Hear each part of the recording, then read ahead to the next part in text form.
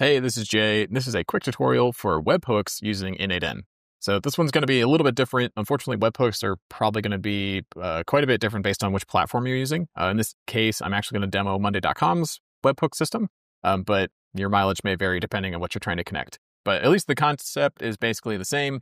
So uh, essentially, you create a connection between the platform. So in this case, I'm using Monday.com.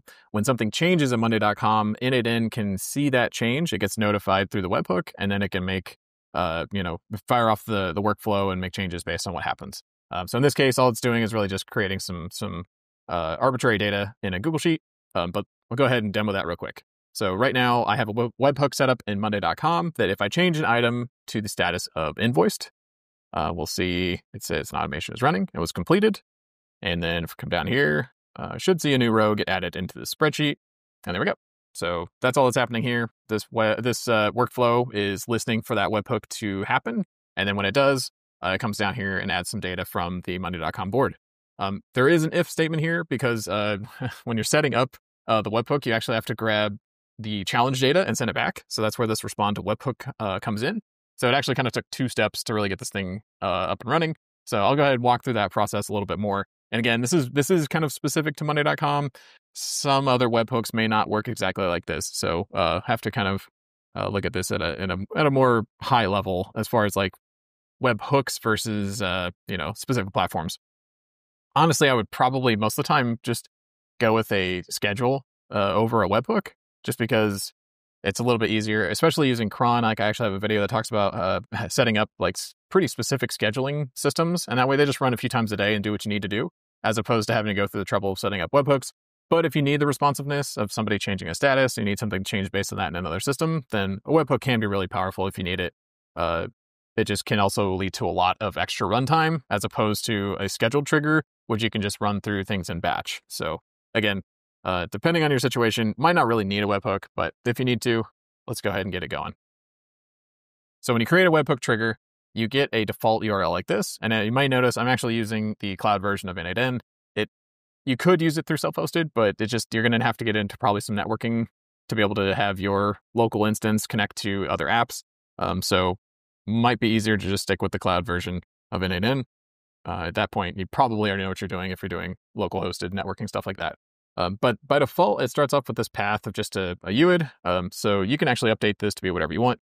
Uh, so I'll say, uh, just probably doesn't really matter. We're gonna, I'm going to do something like Monday status change, uh, just so it's a little more readable. It's more of an organization kind of thing.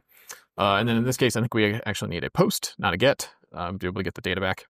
Uh, and then one other thing is that it we could run it immediately to get things started, um, but I think uh, at, at, least in this case, Monday.com is actually going to require a challenge.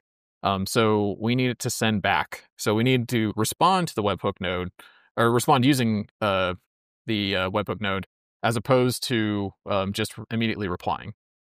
And so we have our test URL. So we're good to go there. And actually, I think it's uh, it's going to get mad because now it's going to be waiting for that. Uh, so in this case, like I did, like I mentioned, um, we do actually need to have uh, an if statement, and then we're going to look for some data to say, uh, let's say, we're going to look for an is challenge node. So is not empty. And then I think we're actually just looking for something called challenge.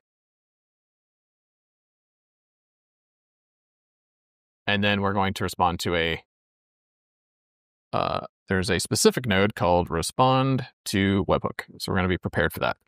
Uh, and just, I think JSON is actually what we, what we want because we're actually going to be looking for a challenge value. And we'll plug that in later.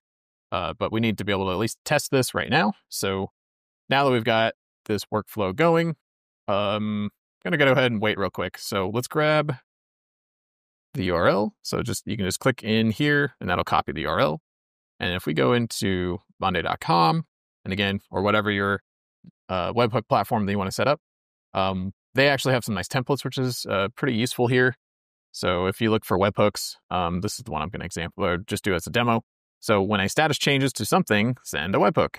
So let's use that template. And I've already got my existing one set up, but I'm going to set up another one. So I'd say let's use another account. And um, all I do is paste in the webhook URL that N8N gave me. And so I'm going to hit connect here in a minute. Uh, but first, we're going to listen for the test event. So we've got all our details set up. This is the test URL, um, and you'll notice they do have webhook-test, which is also like a little bit annoying. We could probably just start with production if you wanted to skip the test. Um, so otherwise, you're going to have to do this twice. You have to set up both instances. But I'm going to go ahead and do this real quick for as an example.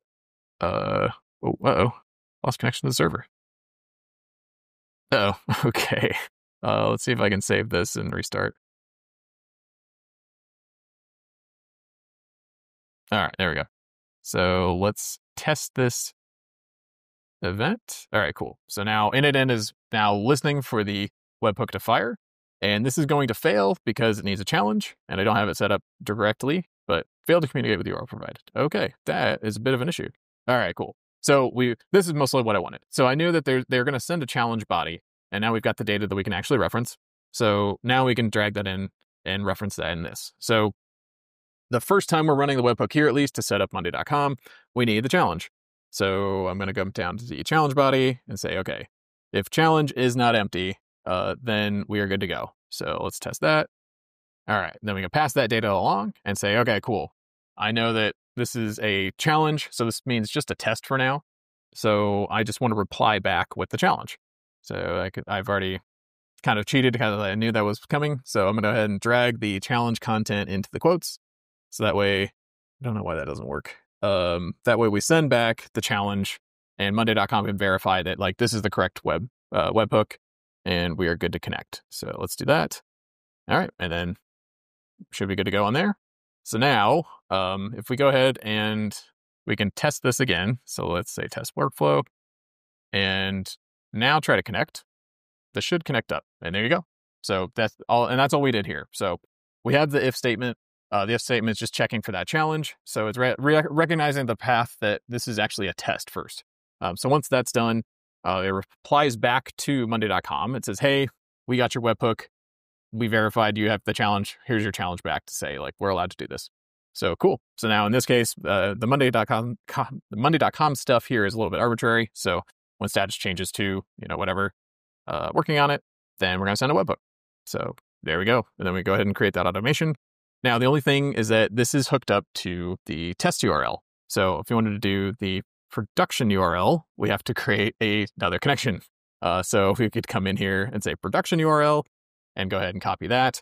Uh, then same thing in monday.com. So, uh, and I think in this case, we actually would have to turn it on and test it, uh, test it live, unfortunately, because I think if you do test workflow, it's not going to let you run with the production URL. It'll only let you run with the test URL. Um, so that's that's kind of a weird thing as well that I was not super not super thrilled with with uh, N8N. Just kind of a weird quirk. So because if you look here and copy this, it says it's actually the test hook again. It won't let you copy the production URL, uh, which is a little annoying. So we can't actually execute the the test one with production. I mean, probably good to not uh, not separate the two, but unfortunately, you do have to also basically test the connection on your production run. So it's a little bit of a catch twenty two. Uh, but if we were to run this in production, then we actually need to have a different route here, right? So that's where uh, I had set up uh, something else to say, you know, let's grab the Monday.com data if it does actually connect correctly. So we'll just say get a board and do my invoice board. And then once we've done that, uh, then I was just connecting it to Google Sheets and said, okay, let's grab the data from Monday.com and append a row to the sheet. So go ahead and connect to Google Sheets. I have an invoice updates sheet, and we'll go to sheet one, and then we're good to go. So, um, oh wait, actually, I want to double check, make sure I don't want to manually. I'll just do map automatically, and it'll just generate the columns for me. So I'm good to go there. Uh, so yeah, so I'm actually going to stop this, and to do the production, we're going to do basically the same thing. So I'm going to go ahead and save it. We're going to go live with it, and then we're going to have to kind of go through this on the fly. So I'm going to grab the production URL now. And then uh, what's going to happen is we're going to create a new automation and do the same thing. So this will be the actual production one. So now we can use production URL. And now in this case, um, since we've got the workflow running, we don't need to we don't need to test. Uh, it's actually live, uh, and then it should hopefully respond correctly because we've already gone through the test version and built out the structure to handle that challenge data. Um, so it should come back live. So if we go ahead and actually just go ahead and run this, we should hopefully get a good, good response. There we go. So again, uh, once the status changes, we're going to say, yeah, say changes to working on it. We go ahead and create automation. Uh, in this case, like as you can see, I just I just disabled the test webhook in that case, um, just because it's like I don't I don't need the test URL one to keep running. I just need the production one to run. Um, so now it's good to go. So now if we go back into Monday.com, and if I change this back to working on it, we should see an automation happen. So there we go. It's going to send that webhook back to N8N eventually, taking its sweet time. There we go. Automation was completed. Uh, this should actually execute, and then we should get another another row in the spreadsheet because it actually ran, and we should be good to go on that. And if you want um, something I I don't always check, but you can actually come into the executions and you can kind of verify that like something actually happened uh, at about the time that we ran it. So we just had an execution run down through there and successfully execute all the way through. Um, so that's it. Uh, that's a high uh, high level overview of using a webhook in a specific scenario. Again, webhooks um, unfortunately are going to vary platform to platform. Um, so this is just at least one example using Monday.com. Other other platforms may be a little bit different, um, but it's kind of a good example of where it can be a little bit more uh, complicated, where you actually need to run the webhook and then respond to the webhook to validate it the first time, and then after that you're good to go. So uh, hopefully this is helpful. I will I will include this webhook um, workflow in the link below. Uh, it might not be super helpful, but at least can kind of give you an example of how this might work. Um, and yeah, the rest of the workflow will be in in the bottom in the description. Um, but uh, let me know uh, if you have any other questions or there's any other workflows that you would like to see. Uh, thank you very much for watching, and I will see you in the next one.